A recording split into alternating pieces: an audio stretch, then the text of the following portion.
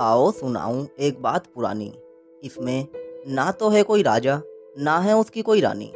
बस एक लड़का था, एक लड़की थी, जो दोनों साथ साथ पढ़ते थे।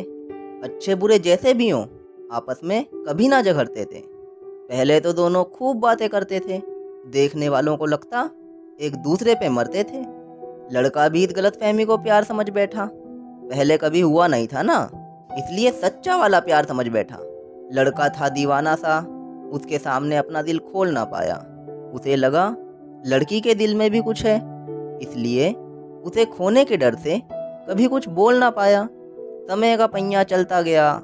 धीरे धीरे सब कुछ बदलता गया। पहले मुलाकातें कम हुई, फिर बातें कम हुई। नींद खोई, चैन खोया, बस सपने ही सजाने लगा। एक तरफा प्यार को दो तरफा समझ के उसे बहुत मज़ा आने लगा। फिर एक दिन वही हुआ, जो हर कहानी में होता है। अंत में एक लड़का ही क्यों? किसी के लिए रोता है। दिल में ना बोल पाने का दुख और होठों पर मुस्कान है। अब से बस यही, उस लड़के की पहचान है। अगर आपकी कहानी भी ऐसी है तो समय रहते बोल देना। बाद में रोना पड़े, उससे अच्छा है, पहले ही मोहब्बत करनी छोड़ देना।